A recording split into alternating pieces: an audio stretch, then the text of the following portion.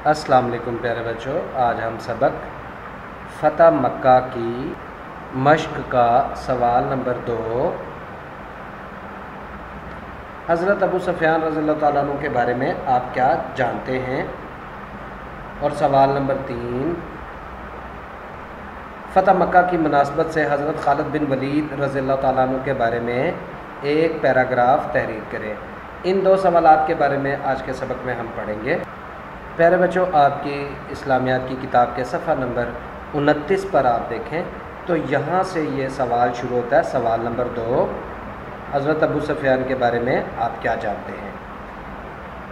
नबी अकरम सल्लल्लाहु अलैहि वसल्लम के ख़ैमे की हिफाजत पर जो दस्ता मुतन था, यानी खेमा, यानी वो जिस जगह पे नबी अकरम सल्लल्लाहु अलैहि वसल्लम ने पड़ाव किया था और अपना खेमा लगाया था, उस खेमे के हिफाजत के लिए जो इस्लामी मुजाहिदीन, जो इस्लामी लश्कर के मुजाहिद थे, जो उस खैमे की हिफाजत के लिए खड़े थे, जिनकी ड्यूटी थी, जिनको मुतन किया था। मुतन का मतलब होता है वहाँ पर उनको मुकर किया था।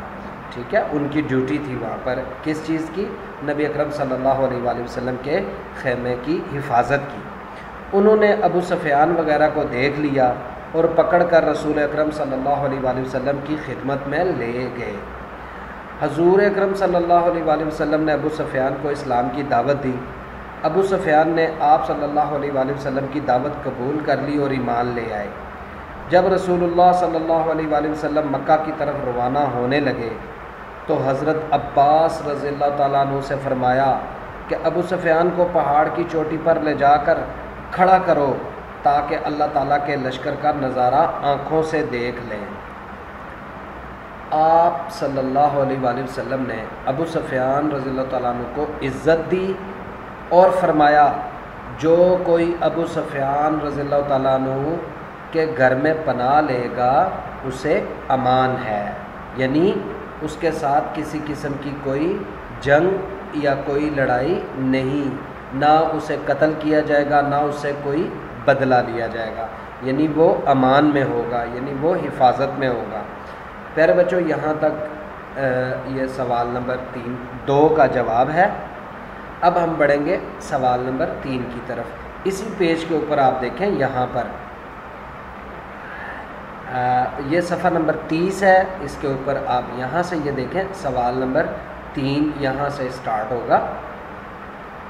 हजूर अक्रम सल्लल्लाहु अलैहि वसल्लम मक्का मुकरमा में दाखिल हुए और आप अलैहि वसल्लम ने इस्लामी लश्कर को चार हिस्सों में तकसीम कर दिया। यानी मुसलमानों की फ़ौज का जो लश्कर था, उसको चार हिस्सों में तकसीम किया, जब आप अलैहि वसल्लम मक्का मुकरमा में दाखिल हुए। हज़रत खालिद बिन वलीद रज़ी तु के लश्कर से यानी उन चार हिस्सों में से एक हिस्सा हज़रत खालिद बिन वलीद रज़ी तु के हवाले कर दिया गया।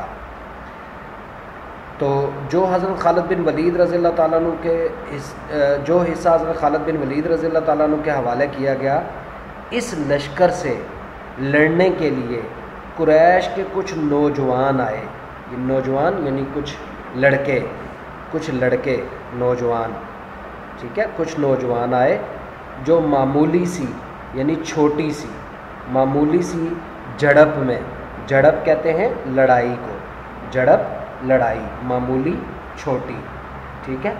मामूली, छोटी और झड़प, लड़ाई, छोटी सी लड़ाई, मामूली झड़प में करीबन तेरह लाशें छोड़कर भाग गए, यानी हज़रत खालिद बिन वलीद रज़ी अल्लाह तु के लश्कर से ये जो कुरैश के नौजवान थे, वो जब लड़ने के लिए आए तो छोटी सी लड़ाई में ही उनके तेरह नौजवानों को कत्ल कर दिया और हज़रत खालिद बिन वलीद रज़ी तु के लश्कर ने। और इस तरह वो अपने तेरह जवानों की लाशें छोड़कर वो भाग गए। इसके बाद हज़रत खालिद बिन वलीद रज़ी अल्लाह तु मक्का मकरमा के गली कूचों से होते हुए कोह सफ़ा पर हजूर अकरम सल्लल्लाहु से जा मिले। गली कूचे जैसे गलियाँ बाज़ार, ठीक है? तो मक्का मकरमा के जो गलियाँ बाज़ार थे, उनमें से होते हुए हज़रत खालिद बिन वलीद जो थे, वो कोह सफ़ा का जो पहाड़ था, उसके ऊपर हजूर अक्रम अलैहि वसल्लम खड़े थे।